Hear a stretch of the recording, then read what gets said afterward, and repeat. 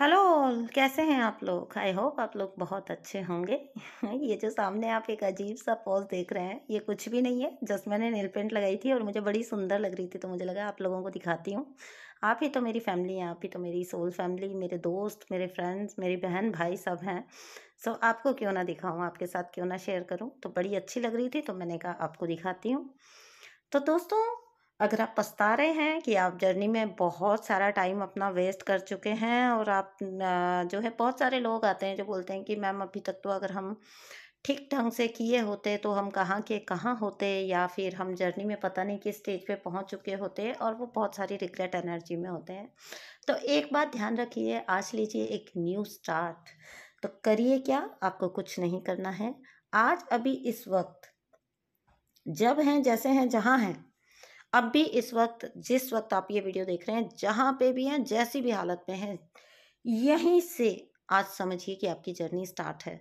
यहीं से अपनी जर्नी स्टार्ट करें, अपनी लाइफ स्टार्ट करें और अपनी लाइफ में, अपनी जर्नी में रीस्टार्ट लेके आएँ, ठीक है? अपनी जर्नी को आज यहाँ इसी वक्त से स्टार्ट समझें और अब नज़र आपकी सिर्फ़ आगे की तरफ़ रहनी चाहिए। पीछे जो हुआ, वो हो चुका, वो गया। ठीक है? उसको रिग्रेट करने से ना कोई फ़ायदा है, ना ही उसका कुछ आपको रिज़ल्ट या आउटकम मिलने वाला है। तो नज़र हमेशा आगे की तरफ़ रखें। अब आपको लाइफ से क्या चाहिए, वो डिसाइड करें और उस गोल की तरफ़ अपना कदम बढ़ा दें।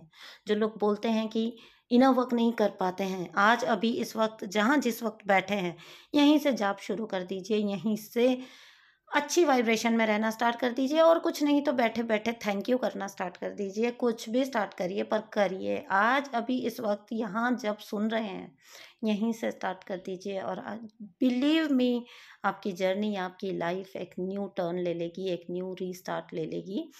और पीछे का कुछ भी आपने ना मुड़ के देखना है, ना रिग्रेट करना है, ना सोचना है, ना उसके ऊपर किसी भी तरह का कॉन्टेम्पलेट करना है। No nothing